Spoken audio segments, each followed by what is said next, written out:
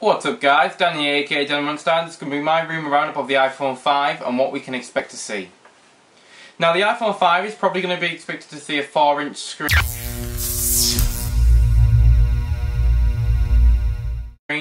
The 4 inch screen is probably the biggest thing to come to the iPhone 5.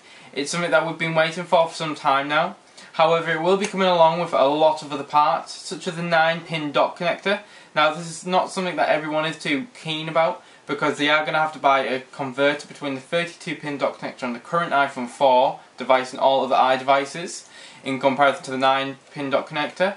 Now this is going to be for devices such as music players and whatnot, so it is going to be very helpful. However, it is going to be an additional cost to most users. The only way Apple could try and combat this is by giving everyone who buys an iPhone 5 a converter device, but I highly doubt this would be the case. We do expect it to become a new shape. A two-tone body is something that's been hitting the internet for the last week or so. Now this two-tone body has been designed by Apple in California and we have seen it put together by the iLab. We do expect there to be a conference on September 12th with the launch to be on September 21st. Now we would expect pre-orders to land on the September 12th at the same time for all the carriers in Europe and the USA and whatnot. And something interesting will be, will T-Mobile get their hands on it? Now this isn't something we will be discussing in this video, however I really think that Apple will probably try and utilise all carriers around the USA, so I do expect T-Mobile to get their hands on it.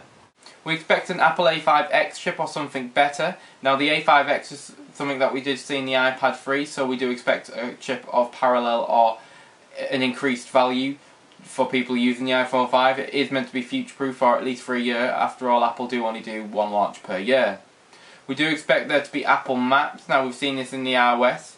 Apple Maps and the YouTube app will no longer live are the two big changes to iOS 6, alongside better integration with Siri, and uh, obviously faster, smoother motion, and obviously the better the processor on the iPhone 5, the better we expect now Siri, as I did mention there, is meant to be integrated so much more better.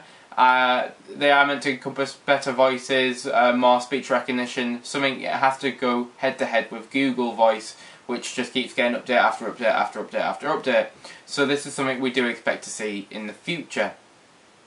Now I expect the device to land on the 21st of September as mentioned previous and I will be getting the device on launch so BloomeCorp will be having an unboxing, a review, software to a comparison with the old phone everything you really need. So make sure you do pop to our website www.bloomecorp.com to check all the latest and greatest news. We have also got a new redesign for the website coming that should be coming in the next month or so. We've been talking about this for some time now and it is in its closing stages so that's something we are really really excited to give to you.